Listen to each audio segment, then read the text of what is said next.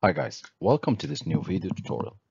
In this video, I'll show you how you could easily fix the error 1141 in Rosetta Stone. To begin, what you want to do, you want to change first the date or the time. So go to your browser, uh, go to your search bar and type settings. Click on the settings to open. Here under time and language, under time and date, select set the time automatically. Set the date and the time manually. And here you want to change the time by adding or reducing an hour. This is only for now. As a next step, you want to change the country to the, time zone. So let's change. We will keep the same, but we will change to Amsterdam or Berlin. Next step, go back to your search bar and type services. Click on the services to open.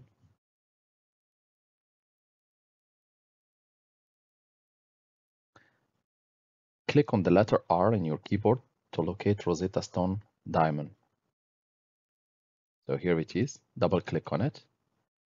Select Automatic, Start, click Apply, and click OK. Now you can go ahead and click on your Rosetta Stone and it should open up for you and it should work for you. Once you have opened Rosetta Stone, it should not show you the error again. We will go back and correct the time later, but we, won't, we will just make sure that Rosetta Stone is working for us.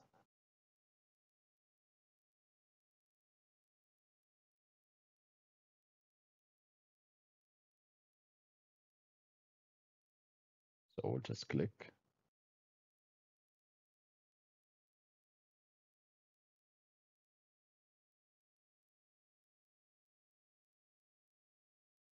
Now Rosetta Stone is working, so we're gonna exit Rosetta Stone accordingly. We'll just close it. And we will go back to settings and we will take or tick set the time automatically. And we're going to select back our location. We'll just close it. We'll close again services and we'll double click on Rosetta Stone. And now it should be fully functional without issues.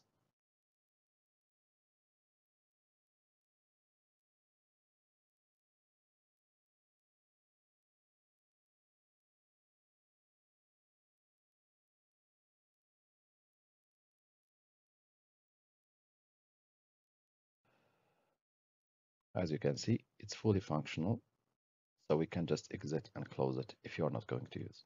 Thank you for watching and talk to you soon in a new video tutorial.